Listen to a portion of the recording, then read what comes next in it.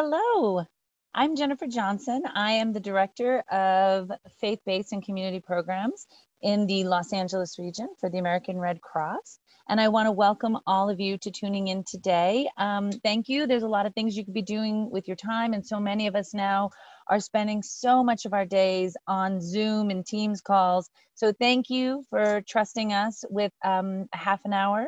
And uh, I want to introduce our topic, which is it's community coaching. It's LGBTQ plus sensitivity training. And this is our opportunity to build resilience in your community by sharing information on how you can be more compassionate and supportive to all of your members. As leaders out in the world, people are looking to you. Today, we will give you the skills and the confidence to shine in your compassion. Our mission at the American Red Cross is to alleviate human suffering and treating people the way they want to be treated and seeing people the way they want to be seen alleviates suffering and equate, uh, creates equality. The month of June was chosen for LGBTQ Pride Month to commemorate the Stonewall riots, which occurred at the end of June 1969. As a result, many Pride events are held during this month to recognize the impact of the LGBTQ plus community. Before I introduce one of my favorite colleagues at the Red Cross, I want to share with you a quote. And it's from Maya Angelou. And it says, I've learned that people will forget what you said, people will forget what you did, but people will never forget how you made them feel. And that's what today's session is all about, is making people feel and, and um, that they are seen and they are heard and that it comes from an authentic place. So let me introduce my, one of my favorite colleagues at the American Red Cross. It's Jeanne Woo. She is disaster program, I'm sorry, senior disaster program manager, which really doesn't capture all that she does. Um, but she's been with the Red Cross a long time, and we're really lucky to have her to introduce our guests today. Thank you. Hi, everybody. Uh, thank you so much for the invite, Jennifer, and the really kind words. Uh, really happy to be joining you today. Obviously, um, this is a topic that is really important to me and really close to my heart. Um, I've spent almost a decade working with the Red Cross in the Los Angeles region, primarily in disaster services, and I'm very invested in how our services are provided for community members that are the most vulnerable, um, which is frequently members of our community, the LGBTQ plus uh, individuals. When they feel unsafe, it makes them less likely to come to us to seek services, and that may be true of your organization as well. Uh, so we've been doing a lot of work internally um, in the Red Cross as well as in the region to really sort of expand how we reach out to those individuals and the community in general. And so I'm going to introduce some panelists today that are going to talk about some steps that you can do with your community uh, and your organizations, um, but also uh, available for questions about how we're integrating this within the Red Cross's LA region response framework. So with that, I'd like to begin introducing Maria Melo um, one of our panelists, is a good friend of mine. We met at the Red Cross. Uh, Maria was born in Colombia, um, and after she finished her MA in International Relations in Spain, she served briefly in Washington, D.C. with the Colombian government as a representative at the Organization of American States. Maria relocated to the LA region um, and restarted her professional career. Since 2014, she has worked as the regional communications manager at the LA Region Red Cross, uh, and then more recently as a policy and operations manager at the Los Angeles LGBT Center, which is the largest LGBT organization in the world. Joining her on the panel is, is someone else I'm also really fortunate to have made an acquaintance of recently. Robert Gamboa uh, was born and raised in Lubbock, Texas.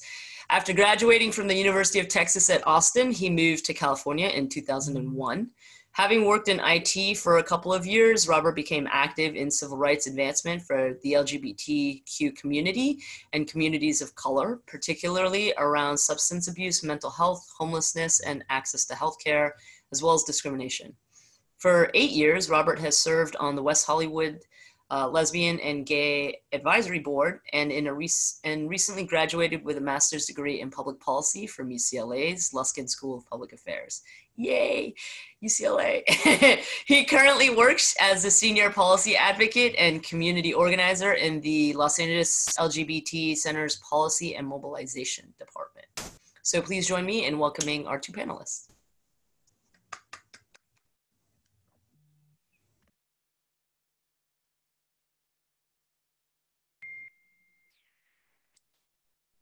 Now I have to figure out which is the right button. All right, you can go ahead and start, Maria.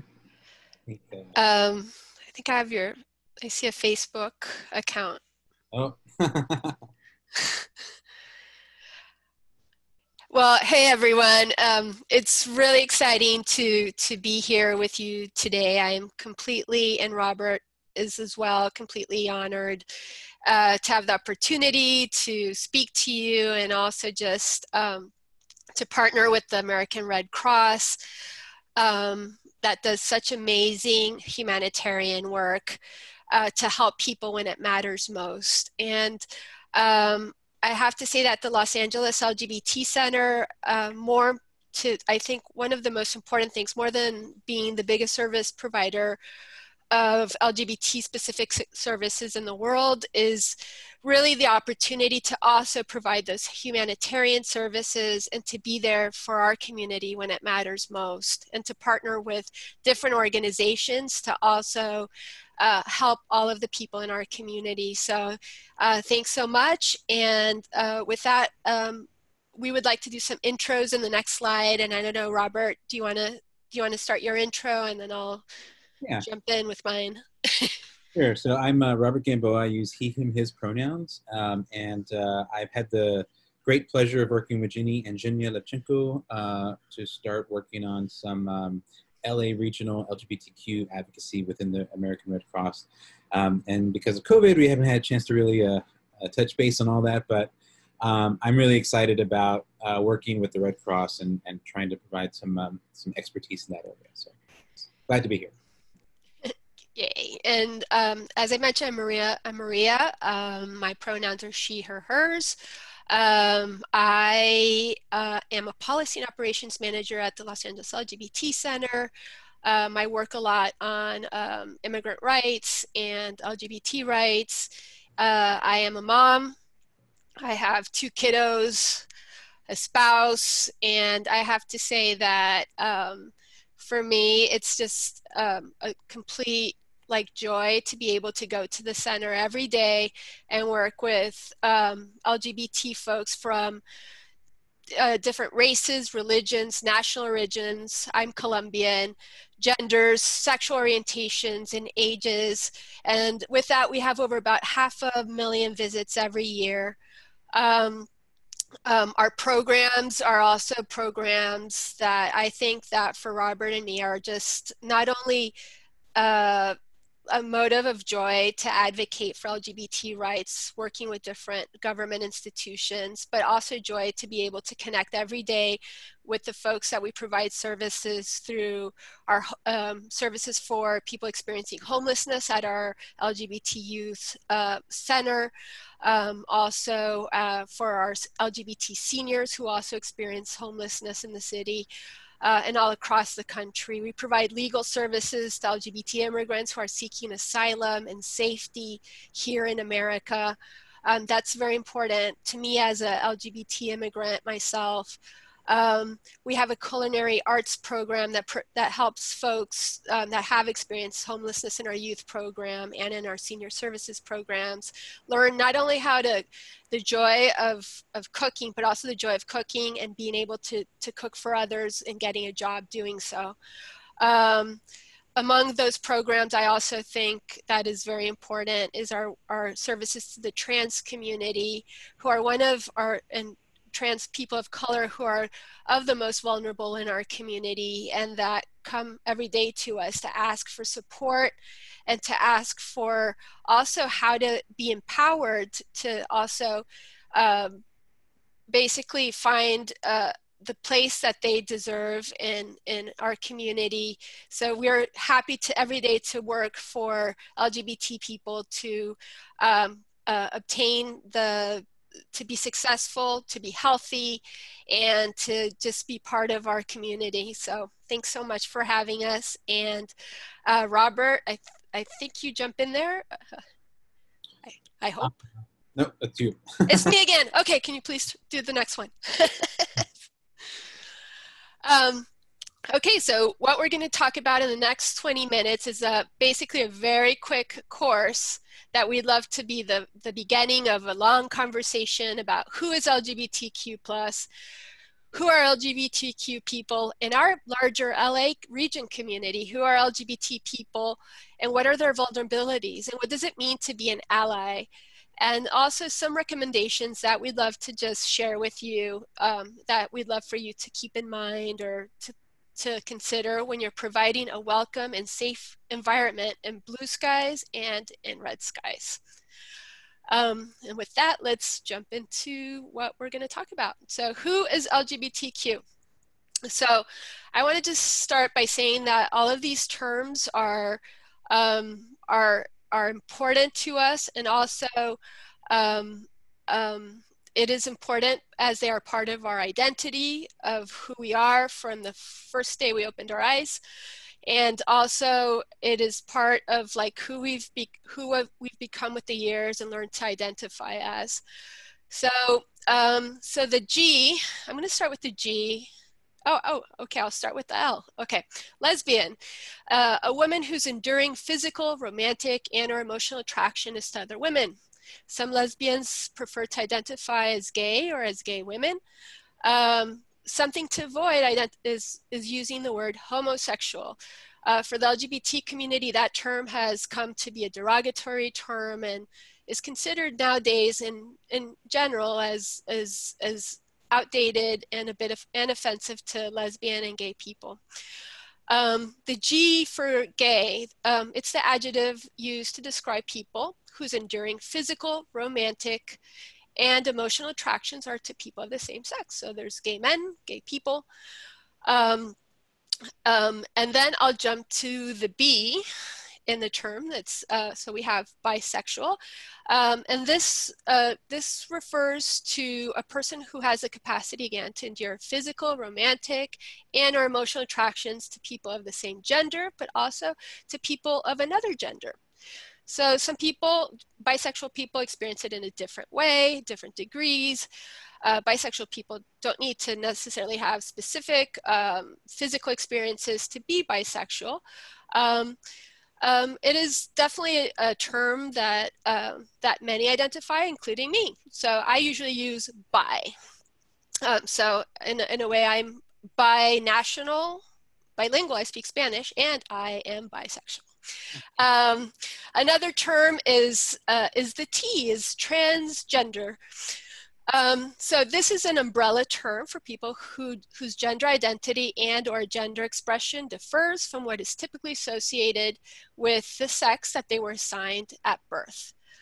Um, people under the transgender umbrella may describe themselves using the word transgender or trans that I've, I, I think many of you have heard before. Um, um, and I'm sorry, I could go on, but I know we only have 20 minutes. Um, uh, the I'm going to jump to the Q. Um, so this is an adjective that you, that is used by some people or particular younger people. Actually, I don't know if younger. I'm 44. At some point, I, I identified as queer. Um, not anymore, but uh, whose sexual orientation is not exclusively heterosexual. Uh, they can refer to themselves as queer, queer person, queer woman.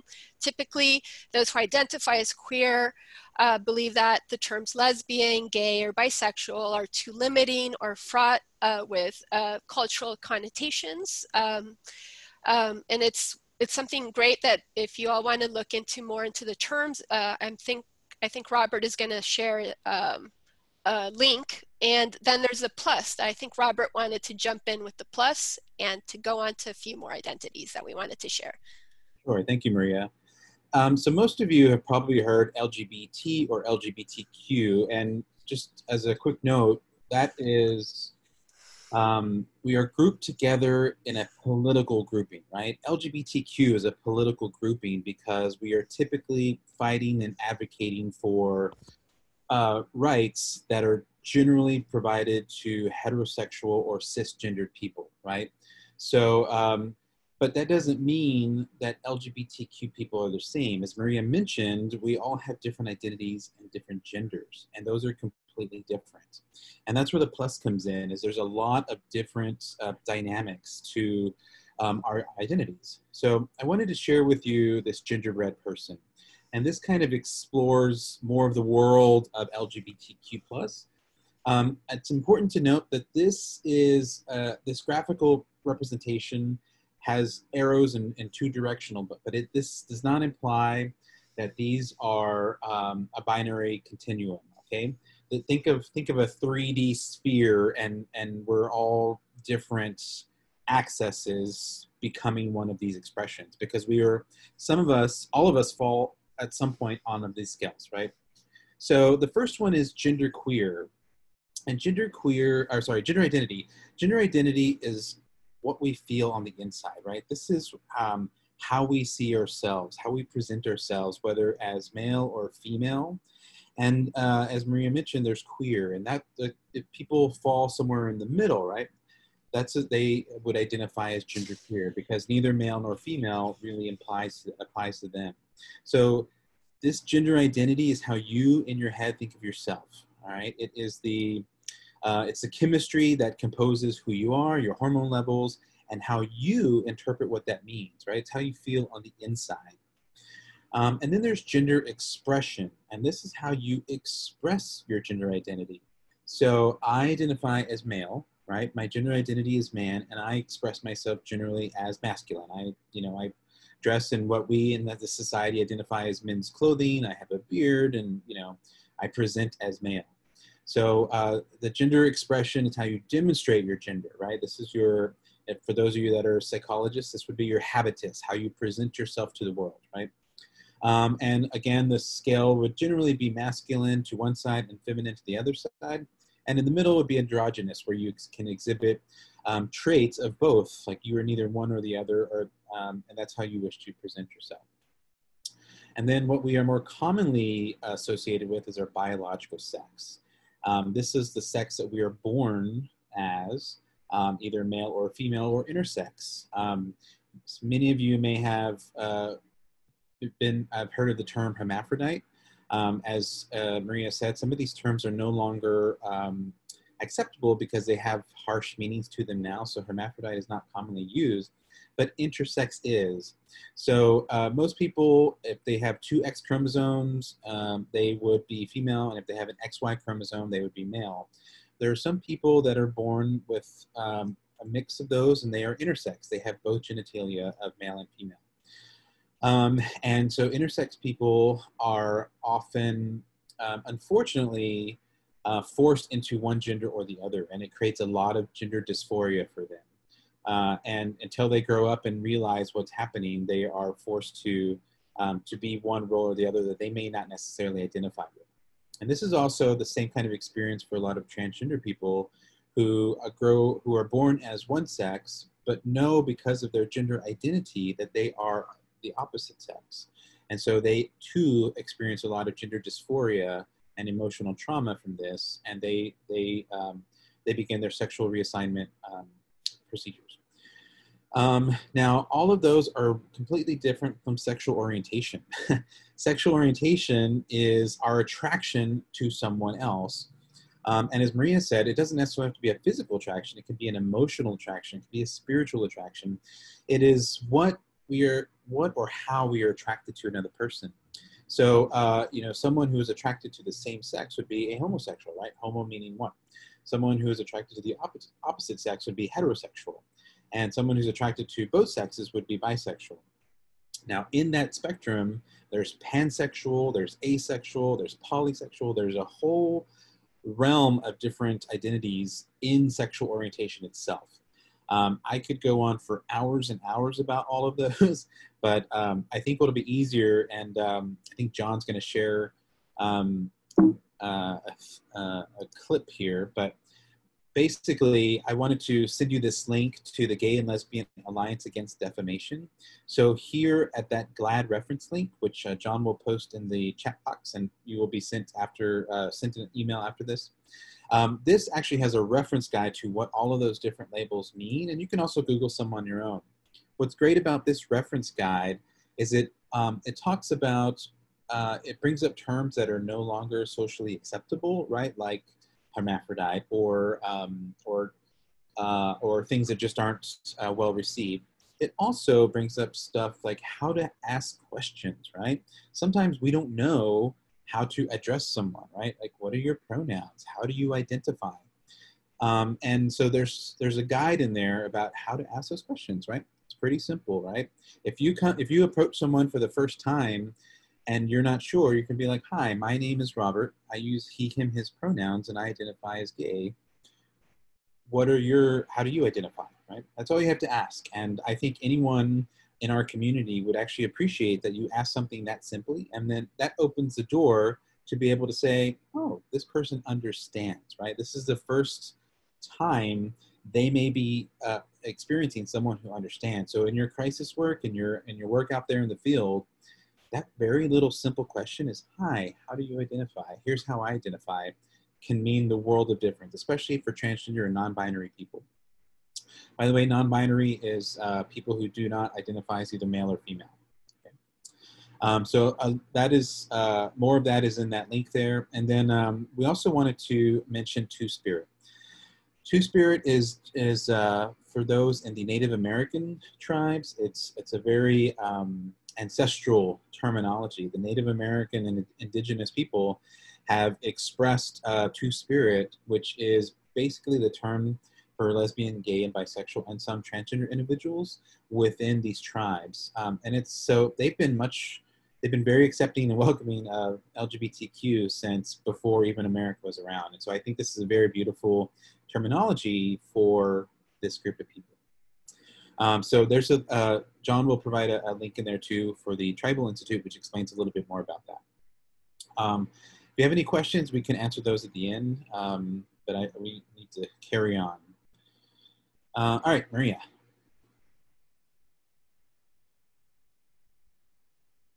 You're muted. Sorry about that. um, so who are LGBTQ people in our community. And I just wanted to start to stress that, you know, we are moms, dads, we are the person next door, we are the Red Cross volunteer, we are the shelter worker, we are policymakers, we're first responders that are there to help when it matters most. Um, we are part of the community and about 44.5% of adults in the United States identify as LGBTQ. That is, uh, that is a lot of people. That's about 13 million people. And I, what I do want to share as well is that there are, not only are there 1 million same-sex couples living in the United States, but um, census data shows that uh, same-sex couples and also uh, children that are being raised by same-sex couples are in every uh, urban and rural area in the United States. Um, transgender people are 0. Point, or 0.6% of the US population. And um, what I want to say is that here in California, um, we are 1.7 uh, million people. Um, so uh, this is not only a big group, but also we are in the community and we are uh, part of, are proud to, to, to work alongside all of you to make our home, our city, our county a better place. Um, let's jump to the next one. Um, and um, something that, as I highlighted a bit when I was talking about what the center does in our work, is that we continue to be a vulnerable community. Um, we have advanced in LGBT rights for, thanks to the decisions of the Supreme Court, as you all know. Um, um, we, uh, this just two weeks ago was a historic decision regarding workplace protections for LGBT people. but we continue to be a very vulnerable community. Just in LA, about 40% of the people of the homeless community is of LGBT youth that were rejected by their families. They come from all, all places in the, in the United States or here in our county. Uh, and to be a youth and to be uh, homeless also reflects basically what's still to be done, what we still have to do. Um, our LGBT seniors at the center are the fastest growing community of homeless seniors. Um, every every about every couple weeks or every week we hear of the death of the violent death of another transgender person of color or a transgender person in the United States. In the past two weeks, as as the week as the country was you know in pain, we also heard of the death of another two transgender people of our community. Um, this is a, a, community also that is affected by hate incidents that have increased in the last three years, 19%. So with that, I do want to say um, we, are, we are present and our community is still vulnerable. Um, Robert, if you want to continue. That button.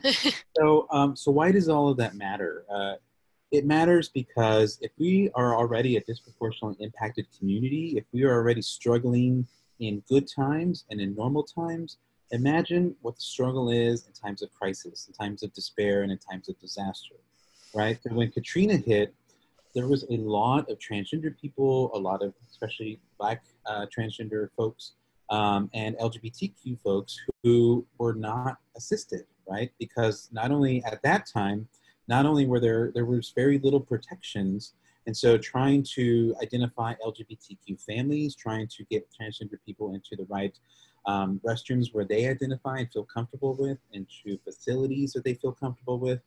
Um, it's a real challenge. And just to have a conversation when you're talking to any of these people, um, a lot of us don't know what to say, right? So, um, so what does it mean to be an ally? If you're truly here to understand how to help um, these communities that are disproportionately impacted, um, the next couple of slides will be like how to have some of those questions.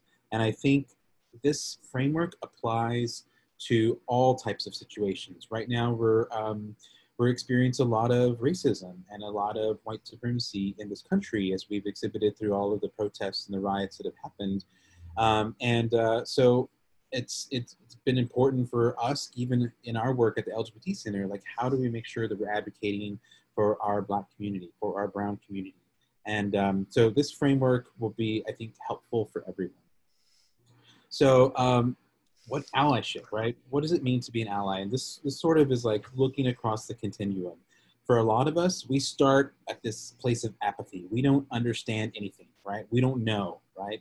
So at some point, we may become more aware, right? We start to understand basic concepts um, and we uh, start to act. Um, we're, we're really not active on, on in, in terms of helping other people, but we're a little bit more aware. But when we do start to activate, when we do start to help, we become a little bit more informed, right? We are seeking knowledge and we start to understand diversity when asked or prompted. Um, and then at some point, we become advocates. We are committed to helping these uh, populations, these oppressed communities, how to um, how to be included, right? And I think that's part of a lot of the work that we've been doing with Jeannie and, and Genya uh, in trying to to uh, help all of us be inclusive, right? That's the goal. How do we all be inclusive and make sure no community is oppressed, right? Um, and I think it's important that we use some of these stronger words um, because that's, that's how a lot of the oppressed community is feeling. So to be an ally is to one, acknowledge that the oppression of some enables the oppression of all. Challenge and dismantle this oppression of others as if it were your own, right? These are some very basic questions to start to think about when you're, when you're working with these communities that are not your own. Um, stand up even and especially when it's uncomfortable. You will experience a lot of discomfort when you're asking yourself these questions and when you're talking through um, with with these communities, right? With our communities. Um, you we all grow through pain, right? So when we're experiencing some of these discomforts, um, and you're asking the right questions, such as you'll find on GLAAD, the GLAAD website, um, you'll be able to better understand, right? Because you're seeking knowledge to help communities. Um, three, acknowledge that even though you feel pain, the conversation is not about you, right? Many of us come from a place of privilege, whether we're able bodied, whether we're male or white or have money or whatever, because we can do something, there are people that cannot or do not have the same privileges as we do. So it is important that we use our privilege for the good of others, right? Um, and that's how we become a, a more complete and whole society. Four, be responsible for your own knowledge and education on topics of oppression. So this is where you get to go do your homework and, and learn a little bit more about what, uh, what these communities need or what they hope for in trying to find equality and equity. Those are two completely different things. Um, five, transfer the benefits of your privilege to those who lack it. So this is what I was just mentioning. How are you going to support and uplift these communities by using your privilege, right? Use your powers for good. I'll say that again. Use your powers for good. All of you here on this presentation today have something that you can contribute to someone else to lift their experience and help them become a more complete human being. Um, and I think that is probably one of the, the highlights of this whole experience, right? Now, um, because of that, because we have some privileges, we need to be, we have certain responsibilities, right? So, um, so we, uh, I like this little quote here. We are acting, uh, we are not acting out of guilt, but rather out of responsibility, right? If we are truly friends and neighbors and American citizens and, you know, and, and faith-based people, um, we want to make sure that our friends and neighbors and citizens and faith-based people and undocumented people and whoever also can share in our experience, right? So, um, so this means that when we're going through these uncomfortable conversations, we're gonna, we need to build our capacity to receive criticism. There will be some things that come out that will feel uncomfortable because that means we're acknowledging where we may have been complicit in some activities or words, some of the words we say, how hurtful they can be. Um, we may be called out in certain ways because um, you know, as Maria mentioned, there are things that are no longer appropriate or comfortable for oppressed communities to hear. So, um, so we need to be honest in where we stand and also be accountable when we make mistakes so that we can fix them right away because we can. Every mistake is fixable and it's a learning opportunity. All of this is a learning opportunity. Um, and, uh, and look at feedback as a gift, right? It's a chance to learn, to grow, and to do better. Um, the next step is embrace the emotions that come with allyship. Um, it is going to be uncomfortable sometimes, but sometimes it'll be great, right? Either way, you're going to be challenged. You may feel excited, you may be hurt. Who knows what the experience is going to entail? And sometimes in a moment of crisis, you may not even have an opportunity to cope or, or, or process that experience, but just know that we're going to have to work through it, right? And American Red Cross is really great with some, a lot of emotional and mental health support. Um, we prioritize the needs of the people we work with, right? Again, how are we going to use our uh, priority and our uh, privilege to help other people? So we are responsible for our own self-care. Um, we do not expect these people we seek to work with to provide emotional support, right? If I'm going through to help um, a transgender person, uh, you know, say there's an earthquake and rumble and, you know, I'm like, I'm I'm I'm begging for them to help, you know, and I'm here to help them. And I'm like, I don't I don't I don't know. So the best thing I can do is be like, how can I be of service to you? How can I help you? Um, what would what would be the most in, powerful thing for me to do here in this moment, right? Um, in a crisis situation, we don't often stop to think about some of these experiences and how people may feel. Um, so, um, how may I best serve you? It's a very simple question, right? And once you're able to open that door, you can then you can say, "Hi, my name is so and so. I identify as this. How do you identify? How can I best serve you?" Um, and always stay calm. you know, we don't want we want to be disalarming and we want to be helpful and meaningful. So um, the more calm and and, and um, present you are, the better it's going to be. Um, also, do not expect any special awards or recognition. Just because you helped someone through something does not mean you get a gold star. We're not going to, you know, put a, a, star on the Hollywood Walk of Fame. Um, these are very basic actions that everybody should be doing um, as we go forward. Um, but uh, but you can sleep with your, you know, put your head on the pillow at night and know you did a good job, right? And that you helped lift somebody up. I think these actions, you know, if we lift all of our community up together, imagine how amazing our world would be, right? We wouldn't have disparity. We wouldn't have inequity. We wouldn't have inequality. So I think that is a goal that all of us can reach for. Um, and then uh, I'm turned over to Maria for this next part.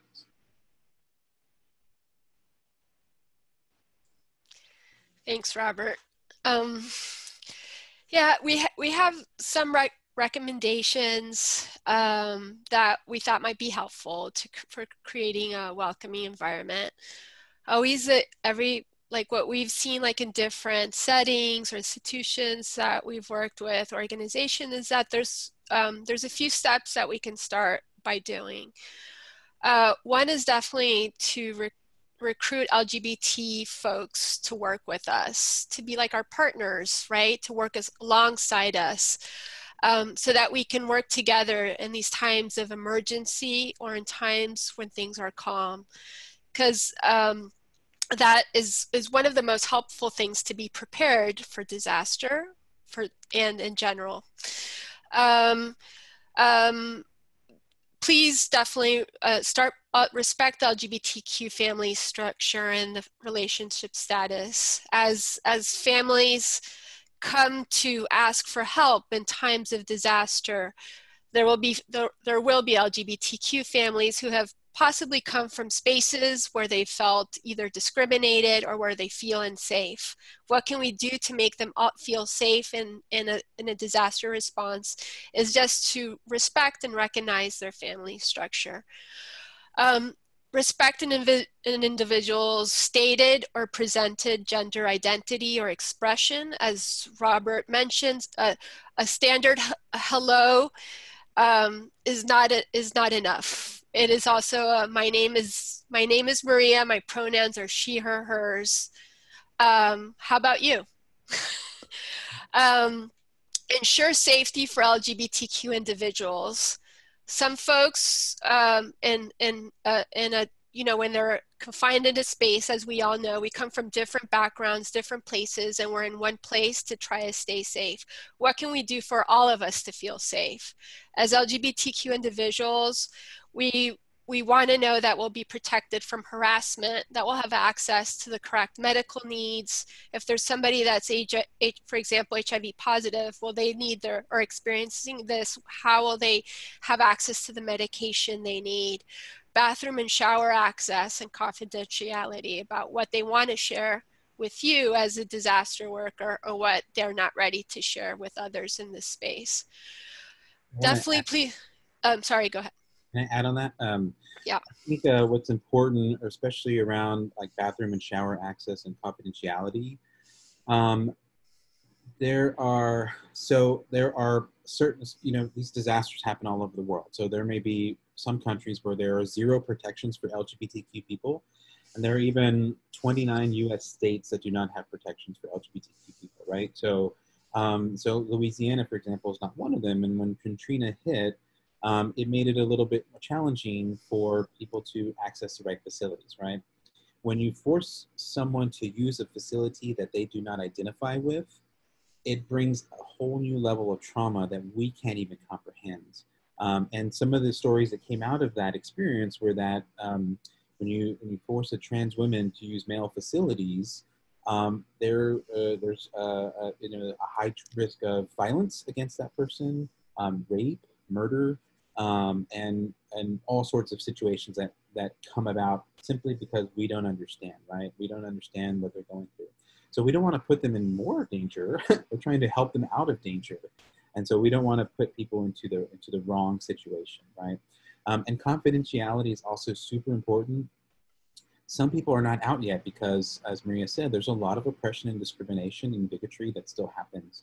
So if uh, if I'm not out yet, and you said, "Oh, you know, we've got a gay guy here who needs help, and all of a sudden my family who didn't know attacks me or disowns me or, or puts me in a situation that's um, that makes the situation worse. So like these are these may seem like simple little things to you, but these could be a crippling experience for the person you're trying to help.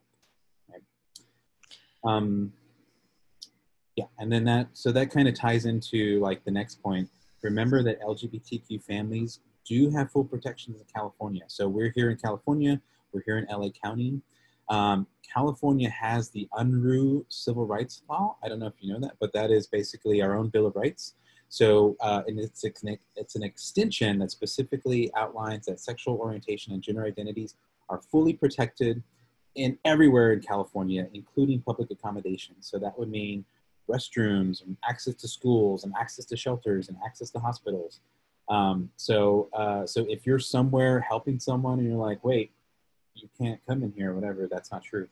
Um, you, we are fully protected here in California. Like I said, only 21 states have these level of protections. but uh, so in California, so that would be good to know. And you're doing your homework is which states have which protections. Robert, and let me um, jump in there before I think you're closing. Um, um, the, something around LGBT families, um, like, and I'll, I, I'm definitely feel comfortable sharing.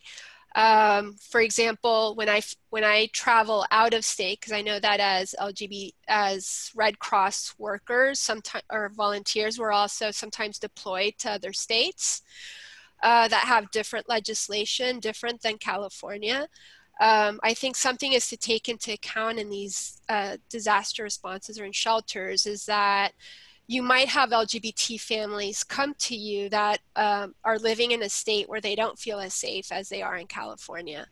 Um, I know, for example, when I traveled to another state with my wife and my kids, where I know we don't like we don't have the same protections as like parents of them like we travel with our like adoption papers or all of this stuff. So this is just to show that even though we've accomplished so much um, we are still vulnerable in different states. So some that's something to definitely keep in mind as you um, as you deploy. Yeah. Thank you for that maria. Um, and really the final point uh, why we're all here today is just a reminder that there's a lot of vulnerable communities out there. Um, whether they're impoverished communities, communities of color, LGBTQ communities. Um, women are often uh, vulnerable communities, especially against domestic violence. Um, so, what can you do to be the best support person you can be as an American Cross volunteer, um, and understanding um, how to make that bridge and connect to that person who's struggling? And this applies both in good times and bad times, right? I think the term here is blue skies and red skies. Um, but uh, you know, we're basically like, how how are you going to be an ally? And use that framework that we just kind of uh, breeze through. We will send you this uh, presentation, obviously, but uh, I think that's kind of the the gist of it. I don't know if we're out of time or not. I think we've probably gone over, but um, I think uh, now we have an opportunity for questions. Uh, so there are a couple things. There was a question earlier about defining cis, um, and I'll let Robert or Maria could take that in one minute um, because I wanted to circle back to what Maria brought up and Robert also addressed. As a Red Cross volunteer, you're empowered to take what we've just taught you in terms of training, what Robert and Maria have presented, with you on deployments, right? In fact, we encourage that. As an organization, we've adopted um, zero, a zero tolerance policy on discrimination in terms of sexual orientation. Um, and, and so all are welcome in our shelters, right? Um, that is the baseline assumption, whether you're in Louisiana or New York or California or Washington or Alaska or Guam, right? And so incumbent on each of us is to be a good advocate and if we can take that next step is to be an ally right? Where wherever we are whether we're in texas or louisiana a deep red state or a, or a blue state nothing exempts um, an individual uh, part of the lgbtq plus community from facing some kind of discrimination. And when you're a volunteer with the Red Cross or your workforce with the Red Cross in whatever capacity, particularly if you represent the organization, we encourage you to make your voice heard right um, and so i just wanted to kind of put a pin on that as someone who does a lot of deployments um, and is proud of the work that i do all across the country right I would I would hope that all of you would join me um, in in making your voice heard right in making a more uh, accepting environment for our community so Robert, Maria, did you one of you want to address cis first, just defining sure. that? Thanks, and I, I'm sorry that I missed that, um, but it's in the it's in the GLAAD def, uh, terminology. Um, so the question is cisgender versus transgender. Cisgender is a relatively newer term, and it basically is um, the sex you were born with, right? So if I, I was born as a male, I am a cisgendered male. That means I am this, I identify as the sex that I was born with.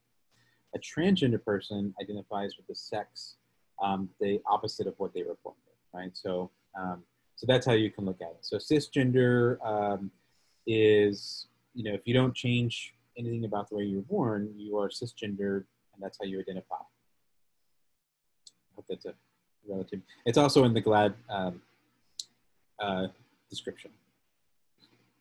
Are there any other questions? I can't see the thingy. Robert, there is one more question from the Q&A, uh, which we will, um, we can answer live. What's one or two specific things that managers can do for their teams in a work environment to help LGBTQ plus individuals feel welcome and build a culture of inclusion in the department? Great, thanks. Um, I'm going to go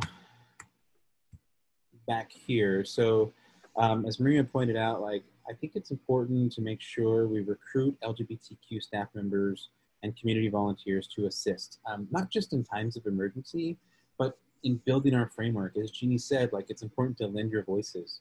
Um, I will uh, just note that, for example, right now, so the LGBTQ Center has been, uh, I'm sorry, the, the, Los Angeles LGBT Center has been a radical organization, right, fighting for LGBTQ rights um, since day one, right? So, uh, my screen blocked. Um, but in this time of, uh, of racism, of stark racism, we've had to really take a look at some of our infrastructure and make sure that have we been complicit in some of this work and, and, and properly responding to communities of color. And so, um, so we're really having to take a hard look at ourselves. And sometimes that's what some of us need to do is take a hard look at ourselves and make sure we're including all of the voices necessary to have the right framework, to have the right structure, to have the right voice, right? If you're just, um, if you're going out there and you think you're doing the best that you can do, which we've always thought, then, uh, but we've never included our black voices or our brown voices, then we're part of the problem, right? So, um, so this goes back to some of those other points, um, you know, like doing our homework and asking those hard questions, bringing all the right people to the table to make sure you're having equity and equality. Equality may mean something as easy as, yes, we all have the same rights, right? Our Constitution says, hey, all men are created equal, but we know full well that that doesn't apply right? This, are, you know, we're literally fighting to make sure that everyone has the same rights, right? We're bringing up these communities. Why are transgender people not basically have very few rights? Uh, women don't even have full protections in this country, right? So, um, how do we how do we get people there? And that means equity. Equity means every single person has the same access to the same resources, right? So, um, so maybe that's a basic way to start your question: is how do we become an organization of equity? and bringing all the equal voices and having equal representation to the table.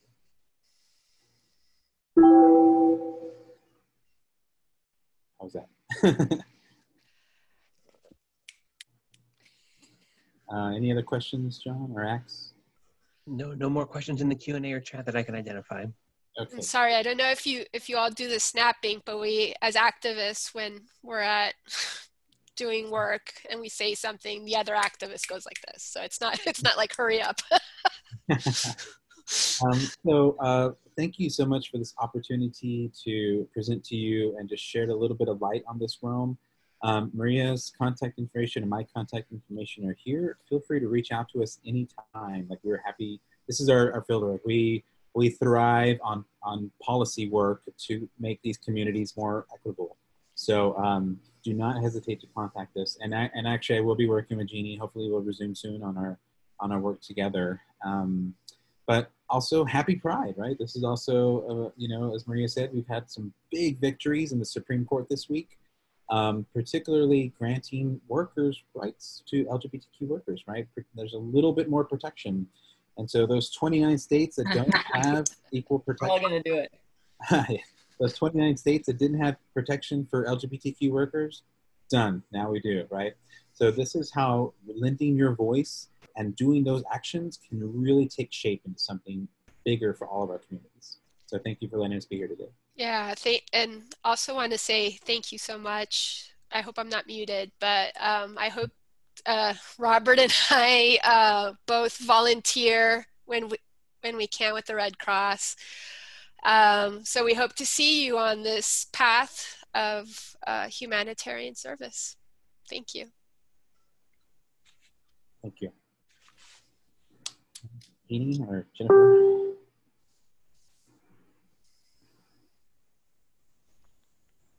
I think it's you, Jeannie.